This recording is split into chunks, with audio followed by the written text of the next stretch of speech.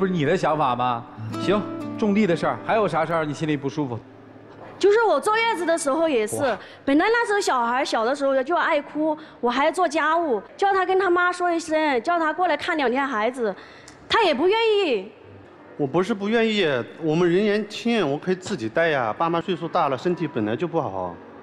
你不去，我说我自己去跟他说，你还威胁我说跟着我离婚。我那当时不是一时气话嘛，小孩天天闹，我本来就烦得很呀。你哪里是气话呀？你明摆着是向着你妈妈，你妈本来就对你不好，你老是向着她，从来没有为我想过。我月子做完的时候都没见着他妈一眼。你母亲在跟你们生活在一起，对，你媳妇儿跟你妈之间还有矛盾吗？有一点，她还有矛盾啊？那不叫矛盾，那是她向着他妈，他妈本来就对他不好，他老是向着他妈。好好好，故意这样说的。你你你对他好吗？我对他好啊，就是那次住院的时候嘛，他病得挺严重的，病危通知书都拿下来了。我白天做兼职，晚上还去照顾他。我跟他的妈打了好几次电话，叫他妈过来看他一眼，就不过来看。我妈当时不是也是生病了吗？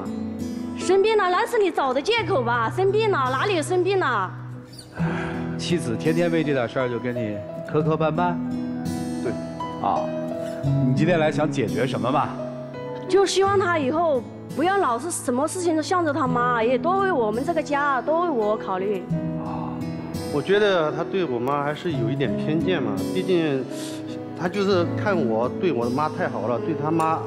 不是怎么好哦，你对你丈母娘也不好是吧？不是，因为我妈他们稍微偏向哥哥姐姐一点，我就是想对父母他们好一点，好把我们的关系搞得融洽一点嘛。哦，你也是觉得你妈有点偏心是吧？啊，有一点。所以你这么做是希望你能跟母亲的关系有所改善，然后母亲对你们这一个小家好，是这意思吗？对对对。啊，你看这还是挺有想法的嘛。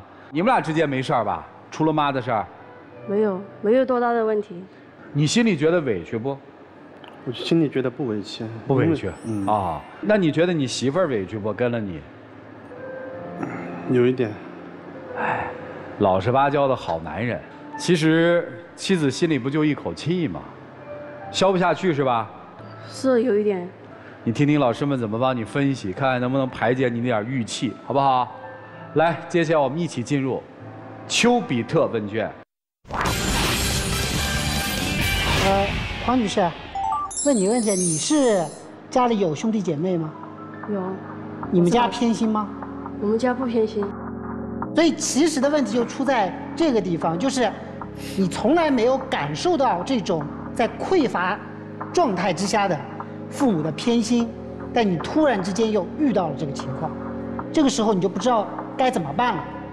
赵川老师刚才说了一个点是很正确，就是你就是心里一口怨气嘛。